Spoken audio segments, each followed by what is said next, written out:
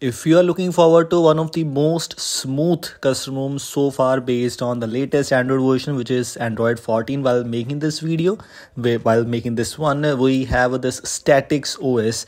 I made a short video on this one some days ago that it's updated to the Android 14 version uh, in all the previous versions and so as in this version this custom ROM does not brings you any kind of major customizations or etc. Even some useful options are not present there but it's good enough.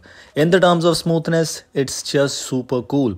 I tried, I used it for more than 24 hours or even I guess it's almost 2 or 3 days almost. I have I'm using this one and it's super smooth. No lags, no issues, nothing at all. I'm not talking about device specific things here but still it's good enough because I tried on two devices so far in Mi 11X and in Poco F5 and both of the devices I got great response. This was so smooth all the time. We have Pixel Launcher pre-installed as expectedly and as I just mentioned at the starting of the video, this custom does not bring you any major customization. So we are not going to talk about much about these customization.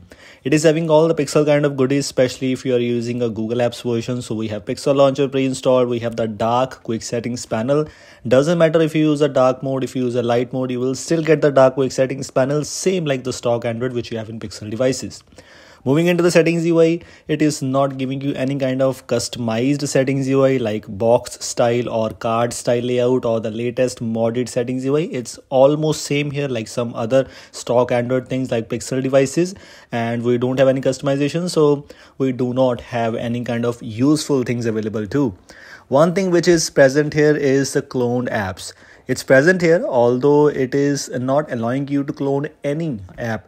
We have the app available for example whatsapp. Only few of the apps are supported at least while making this one. Maybe with the upcoming version things might be changed in your case but in this case this is the one. And if you want to unlock all the apps which can clone you can install the Pixel Xpert magisk module for that we also have the option for pixel imprint which is basically a fingerprint unlock although face unlock is not present there. In my personal opinion i think this is good because even in lineage os custom ROM you don't have the face unlock available because face unlock is less secure as compared to fingerprint or as compared to any other lock available there. But we have some useful gesture like swipe to screenshot which is actually so useful. But else things are basically same. So we don't have any much things to talk about this case. But yes if you want to use this custom on a daily basis you can root your device through kernel su etc or you can customize some widgets here on the home screen like I am using right now. I'm using some custom widgets here. This is not the KWGT by the way. This is from the Pix Material You icon pack which is available on the Google Play Store. I, I often talk about this icon pack because the icon pack is good. Also the widgets. The widgets are super cool. A lot of widgets are pre-included. And yes, if you root your device, you can also install some mods and you can install some interesting modules to enable some features or etc. So this was all from today's short and simple video. Hope you like this.